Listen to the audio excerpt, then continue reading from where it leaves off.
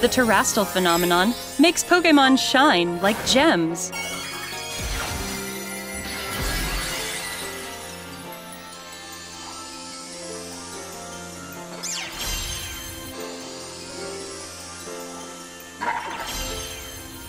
All Pokemon in the Paldea region are able to terastallize, which can provide a boost to a Pokemon's type and make its moves stronger.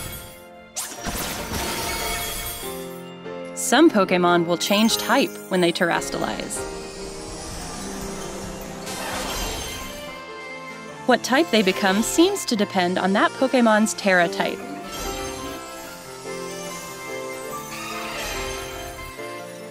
For example, an Eevee would typically remain normal type after terastallizing, but there could be Eevee that become grass or water type after terastallizing. We hope you'll try to catch Pokemon with rare Tera types.